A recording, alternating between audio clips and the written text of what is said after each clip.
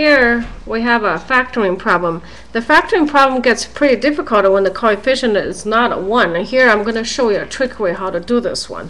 Okay, we're going to enter imaginary world where you multiply 3 to the 14. So it becomes, I'm going to draw a box. So this is not really the one with factoring, but it's going to help us to get the answer.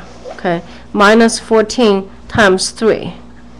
Okay, I'm going to write one more step so it's easier to factor this one because as the number gets bigger and bigger, it gets more and more difficult to find the numbers. All right, so I'm factoring this one. As I, all I did it was write 14 as 2 times 7. So uh, to factor this one, it's pretty easy. I have x minus 6, x plus uh, 7, because it's a 42. Let's see. 14 times 3 is 42. Okay, so 6 and 7 here.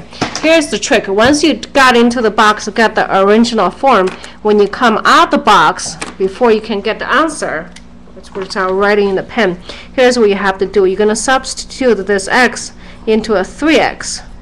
Okay, it's the same answer, but you're going to write 3x instead. This is a critical step. Now you notice 3x times 3x is going to be 9x squared, and we started with a 3x squared, so I'm going to divide it by 3. And you simplify from here, you get the answer of x minus 2 times 3x plus 7. That's your answer. Let's check so make sure we got it, the answer back. So I have a 3x squared, okay, plus 7x. I'm going to have minus 6x and minus 14. That's exactly what we started with. Okay, so I did the FOIL method over here and to check it answer. I'm going to write a check.